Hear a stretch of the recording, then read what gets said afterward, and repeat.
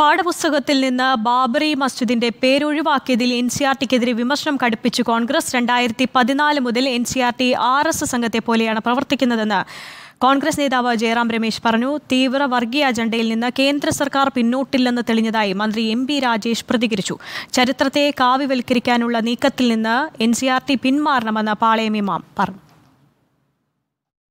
N C R ടിയുടെ പന്ത്രണ്ടാം class പാഠപുസ്തകത്തിലായിരുന്നു Babri Masjid എന്ന പേരൊഴിവാക്കി മൂന്ന് മിനാരങ്ങളോടുകൂടിയ നിർമ്മിതി എന്നെഴുതിയത്. പിന്നാലെ പല കോണിൽ നിന്നും വ്യാപക വിമർശനമുയർന്നു.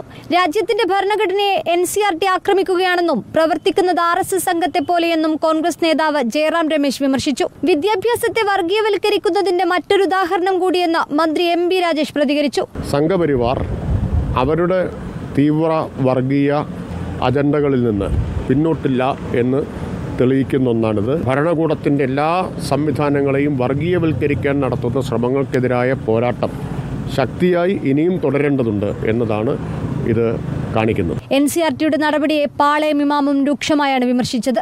ബാബരി മസ്ജിദ്.